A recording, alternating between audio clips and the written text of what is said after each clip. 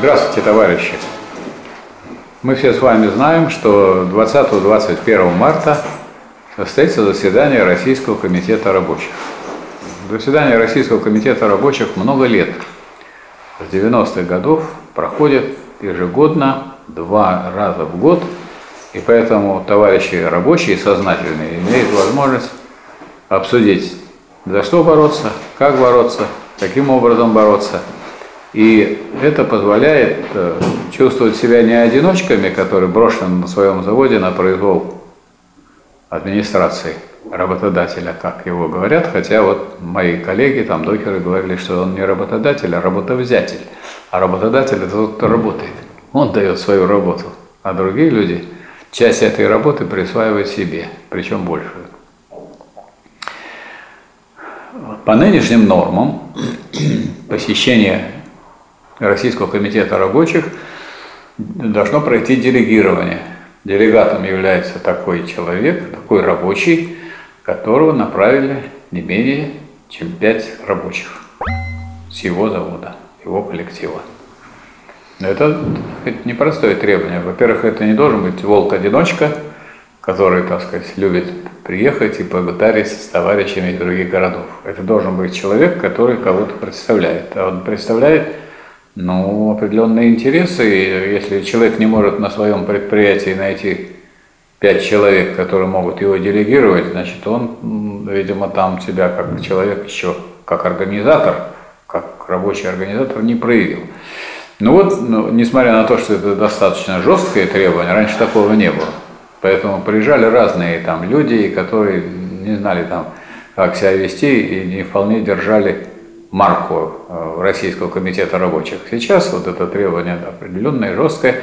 Ну, получается, что мы не полностью используем возможности того, чем мы располагаем. Вот эти пять человек, которые направляют делегата, наверное, они хотели бы послушать, а чем, что было на заседании Российского комитета рабочих и что может рассказать делегат. Правильно? Имею в виду, что в крупных городах получается там два, а может быть и три таких представителей. Если два представителя, допустим, едут из Ленинграда, значит это 10 человек, которые их делегировали. Значит, 10 человек, неплохо бы им познакомиться с тем, как те люди, которых они делегировали, как они себя проявили, и обсудить те вещи, те вопросы, которые рассматривались на заседании Российского комитета рабочих. Потому что никаких особых своих проблем, которых не были бы проблемы рабочих, Российский комитет рабочих вообще не затрагивает. Наоборот, он как раз учитывает именно то, что на сегодняшний день является самым актуальным, самым нужным, самым важным, кто может э, товарищам делегатам помочь в определении этого, что сейчас важным является, в том числе для рассмотрения на следующем заседании, которое будет через полгода. Раз в полгода проходит заседание Российского комитета рабочих, и следующее будет сейчас весной, а следующее будет осенью. Вот в связи с этим, я думаю, было бы правильно, если бы люди, приехавшие из заседания Российского комитета рабочих, отчитались бы. Перед кем? Ну, перед вот теми, кто их отправлял, кто их направлял. Или, так сказать, я пробежал, подписал, вот. Приехал там, меня делегировали, я выступал, слушал. Ну, а товарищам как-то не рассказал. Я думаю, будет правильно, если эти товарищи делегаты рассказали бы тех, кто, тем, кто их делегировал, о том, как происходило заседание Российского комитета рабочих, и рассказали то интересное, что там было, потому что кроме того, что записывается на заседаниях, ну, там есть возможность общения рабочих из разных городов поскольку они живут в одном и том же месте, то есть там в разных номерах в гостинице, значит, они могут повстречаться вечером после всяких заседаний, могут обсудить то, что для них является насущным, и то, что вот у других получается, у них не получается и так далее. Потому что нужно, видимо, выбирать то, что является общим делом, не только для данного там, предприятия, для данного завода. Например, на всех предприятиях существует проблема с ухудшением условий труда. Почему? Потому что в советское время были планы улучшения условий охраны труда. Потом э, начали э, значит, э, просто констатировать, какие условия труда. Поэтому просто их э, фиксировали.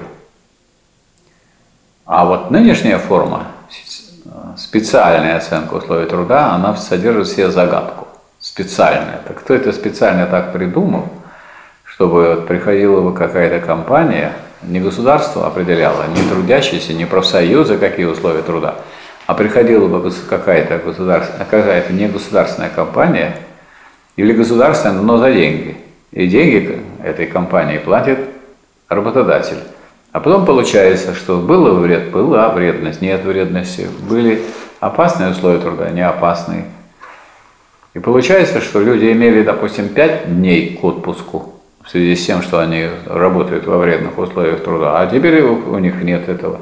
Это специальная оценка труда, так и хочется сказать. Но специально так придумали, чтобы подбирать вообще те блага, которые трудящиеся есть, завоеваны и трудом, и борьбой, и долгой. Еще даже при капитализме начинали это завоевывать, потому что некоторые по 8 часов уже не работают, а работают сверхурочно. И не всем оплачивают сверхурочные работы. Ну вот, э, скажем, другой вопрос сам. Вопрос о сокращении рабочего времени без э, понижения зарплаты. Ну, существенно сейчас выросли транспортные затраты по времени. Ну, все понимают, что если раньше он 40 минут добирался, сейчас полтора часа на такое же расстояние в крупных городах. Вот. Плюс надо понимать, что еще э, рабочим нужно переодеться, умыться, одеться, так сказать, и до работы, и после работы. В отличие, скажем, от представителей такой профессии у меня, которая, как говорится, рот закрыл, рабочее место убрано. Поэтому не у всех такие условия, это надо понимать. Короче говоря, есть тут что обсудить, и было бы очень хорошо, чтобы не получилось, что вот съездили, и забыли до следующей полугодия. Потом в следующем полугодии опять съездили, опять забыли. То есть надо бы, чтобы э, у нас борьба рабочих за свои интересы, она организовывалась, и она не пропадала. Чтобы она не пропадала, что нужно? Ну, желательно э, не мечтать, что вот вдруг возникнут какие-то особые рабочие профсоюзы ни с того ни с сего. Вот я сейчас есть профсоюз, а я сейчас прособеру трех человек или пять и создам профсоюз. Ну и будет он маленький такой, ничего не способный сделать, потому что по всем категориям, как записано в Трудовом кодексе, нужно там больше половины голосов, так больше половины, там больше половины. А вот сделать рабочую секцию профсоюза никто нам не мешает. Рабочую секцию любого профсоюза, вместо того, чтобы объявлять его желтым, несмотря на то, что Ленин говорил, что работать надо во всех, то есть и самых желтых профсоюзах. И Маркс, когда писал о нищете философии, он, правда, слово профсоюз не употреблял, но он, отвечая на философию нищеты Прудона, говорил, что начинается борьба рабочего класса с борьбы за зарплату, а потом, поскольку зарплату не получишь в одиночку, не повысишь, а, начинается борьба за объединение, за права на объединение. Но слово профсоюз не говорил, но объединение по профессии. Объединение по профессии – и есть профессиональный союз. Что значит желтый, коричневый, красный? Это люди, которые одной профессии э, собрались и объединились для борьбы за свои общие интересы. Может быть, у них идеологии разные, даже, может, противоположные. Но это же не партия. И тем более это не какое-то идеологическое учреждение. Это союз работников одной профессии, который борется за свои самые насущные интересы. Это сокращение рабочего времени, улучшение условий труда, повышение реального содержания заработной платы и ну, сказать, обеспечение условий для своего благосостояния и развития себя и своей семьи и своих товарищей. Поэтому, значит, что, собственно говоря, предлагается и что я хочу, так сказать, вполне официально предложить товарищам, которые будут, поедут на Российский комитет рабочих и организациям, которые направлять будут на Российский комитет рабочих, хорошо бы после заседания и даже предусмотреть на самом заседании Российского комитета рабочих, что делегаты возвращаются, собирают своих товарищей, которые их делегировали, и они, так сказать, отчитываются. Но еще интереснее было бы и правильнее было бы, если бы они собрали, так сказать, в одном каком-то месте с помощью товарищи, которые обеспечивали направление на работы, собрали их в одном месте и сделали бы маленький съезд объединения рабочих соответствующего города. Я почему говорю объединение рабочих? Потому что для того, чтобы рабочим объединяться, не надо ни ходить, ни, ни э, регистрироваться, ни куда-то заявляться. Точно так же, как и профсоюз может быть без регистрации и без регистрации. Общественное объединение может быть с регистрацией и без регистрации. Газета, например, вот «Народная правда». Я одно время был не только главным редактором «Народной правды», а еще и директором ООО «Редакция газеты «Народная правда». И имел счастье значит, заниматься бухгалтерией, ходить, так сказать, постоянно отчитываться налоговую и так далее. А потом я взял ее и, и закрыл. Это ООО «Редакция». И э, достаточно, что средство массовой информации зарегистрировано как средство массовой информации, а не как юридическое лицо. Некоторые люди думают, что если вот они себя не зарегистрируют как юридическое лицо, у них лица не будет. Не будет у вас так сказать, необходимости сдавать налоговые отчеты, иметь бухгалтера, платить ему деньги, бегать постоянно, так сказать, и ходить в банк и там, делать платежи, платежки отправлять и так далее. И прочее, и прочее. Ну вот э, есть закон об общественных объединениях, всем бы рекомендовал его с ним познакомиться. Этот закон гласит, что могут быть в разных формах общественные объединения, и они могут быть как зарегистрированы, так и не зарегистрированы, законные, но не зарегистрированные. Кстати, Рабочая партия России действует на правах общественного объединения. Это означает, что мы не обязаны бегать и участвовать в муниципальных выборах, так сказать, которые Ленин называл вложение умывальников, потому что никакие вопросы принципиальные там не решаются. И все выборы, выборы и выборы, и в итоге, так сказать, уже они всем даже надоели. Вот. А, ну, большая партия, когда она так сказать, такая, что она может там выдвинуть какое-то количество еще и депутатов в парламент, она может в парламенте тогда заявлять какие-то свои позиции, но надо, чтобы эти люди в парламенте были сотой частью или, может, тысячной частью от коллектива этой партии. Тогда она это не пропадет. А иначе получается, как все эти парламентские партии, там не только голова, а там и голова, и ноги. И ничего больше и нет. И все остальное еще деньги, которые надо на это на все тратить. Ну вот, э, если два человека, которые едут из одного города, приехали обратно, вот они могут организовать с помощью, в том числе товарищей из рабочей партии, из фонда рабочей академии, могут организовать небольшой съезд рабочих соответствующего города. И этот съезд вполне может собираться всего два раза в год, пока не наметит сам еще какие-то, может быть, необходимые тематические. Это значит каждый раз после заседания Российского комитета рабочих. А может быть, он, может быть, э, будет собираться и прежде чем кого-то делегировать, чтобы дать напутствие делегатам на будущее. То есть было бы очень хорошо, если бы у нас в России э, в каждом городе были бы объединения рабочих. Вот у нас в свое время, в 90-х годах, в Ленинграде было объединение рабочих предприятий, промышленности, транспорта и связи Ленинграда. Его председателем является Евгений Петрович, и вот недавно Дмитрий Олегович Назаров, вот, который исполняет обязанности секретаря Ленинградской организации Рабочей партии России, взял интервью у Евгения Петровича Тимофеева, и он рассказывал как раз о том, что делало объединение рабочих Ленинграда. Вот. Объединение рабочих Нижнего Новгорода существовало. Объединение рабочих Э, в Москве оно называлось «Союз рабочих Москвы», а его председатель Шишкарев Василий Иванович, тоже известный полярник и известный, один из известных членов рабочей партии России, очень грамотный, толковый человек. Он, ему тоже есть что порассказывать о том, как действовали люди раньше. Но если мы будем только оглядываться назад, а не идти вперед, то мы будем историками, а не деятелями. А надо идти вперед, и э, вот даже в 90-х годах, когда еще и партии на ноги не встали, а рабочая партия не встала еще на ноги.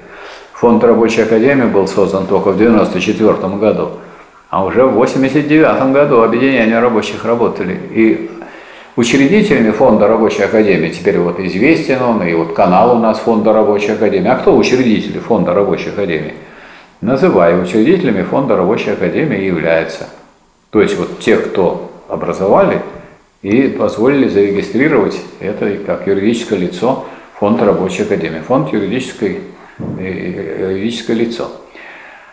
Это объединение рабочих предприятий промышленности, транспорта и связи Ленинграда, это объединение рабочих Нижнего Новгорода и э, Союз рабочих Москвы. И Петровская академия наук и искусства, организация патриотических ученых, которые сделали крестьянский университет и на съезде Петровской академии наук сказали, что нужно и рабочим иметь свою организацию. Они готовы поддерживать и вот, сказать, выступили учредителем такой организации, какой является Фонд Рабочей Академии. А Фонд Рабочей Академии представил свой проект Трудового кодекса, который успешно конкурировал со всеми проектами и занял второе место при голосовании в Думе. Ну и Фонд Рабочей Академии имеет вот те средства пропаганды, которыми вы пользуетесь. Он издатель газет, газеты там «Народная правда». Он, из, э, он из, выпускает такой канал. Имеется сайт Фонда Рабочей Академии. Но надо это все хорошее прилагательное, если есть рабочее движение. А рабочее движение, оно организовывается. Если люди уже делегируют на съезд, вот этих делегатов надо собрать. И я думаю, что было бы полезно, и, разумеется, это не более чем рекомендация и совет, в том числе совет от Фонда Рабочей Академии, от меня, как президента Фонда Рабочей Академии и э, как э, профессора по кафедре экономики и права, это мое ученое звание. Ну и хочу сказать, что я очень бы советовал не торопиться с какими-то обязательно заниматься зарегистрированными организациями, потому что фонд рабочей академии зарегистрированный, нас налоговая пыталась прикрыть один раз. Я выиграл суд э, у нас в Дзержинском суде районном, а потом городской суд у налоговой. Но когда я пришел в городской суд, на стене висела такая надпись «Министерство юстиции Российской Федерации против Фонда Рабочей Академии». Не очень мне понравилось это. Но налоговая вела себя очень, я бы сказал, с точки зрения э, практики ведения судебных заседаний нехорошо. Она стала там на суде, в городском суде доказывать, да мы, если вообще будем без всякого суда вас закрывать. А три тетеньки судьи, которые сидели, что, уже без суда, да? Без суда. Да, мы их будем закрывать без суда. Ага, ну хорошо. Они там же быстро все решается в городском суде. 15 минут побежали в совещательную комнату. Только туда убежали, сразу выбегают оттуда и объявляют. Отклонить. Короче говоря, вот фонд рабочей академии судился раз, судился два, но я никому совершенно не хочу посоветовать заниматься этим делом потому что ну, можно знать, понимать, я готов даже помогать кому надо там выиграть суд. Но самим залезать это дело не надо. У нас есть прекрасный закон об общественных, и там формы можно выбрать общественных объединений, какие угодно. Наша, так сказать, некоторым не, некоторые не, не понимают, что у нас не фашизм, а буржуазная демократия. А буржуазная демократия смотрит так, ну, раз это вот э, пока небольшие там действия, соединения каких-то рабочих, ну и пусть они копошатся, нам-то что. Ну а когда рабочие объединятся и достаточно разовьются, тогда уже рабочие поставят вопрос о том, что там кто копошится наверху. Вот, поэтому не надо, так сказать, в этом смысле э, э, бежать впереди паровоза и э, бежать за всякими бумагами, помещениями, налоговыми всякими справками. Надо объединяться рабочим в своих действиях, потому что сам самой важной задачей является научиться составлять проект коллективного договора. В него включать то, что вам нужно, а не то, что нужно кому-то другому и другого предприятия. Хотя всеобщее, оно и есть всеобщее. Везде есть такие проблемы, как и рост зарплаты, и проблема улучшения условий труда, везде есть проблема э, у рабочих э, увеличения свободного времени, в том числе за счет увеличения отпуска и э, сокращения рабочего дня. Это всеобщие задачи, которые нужно решать по возможности совместно. И надо помнить то, о чем говорил Ленин, что рабочий без организации ничто, а организованный он все.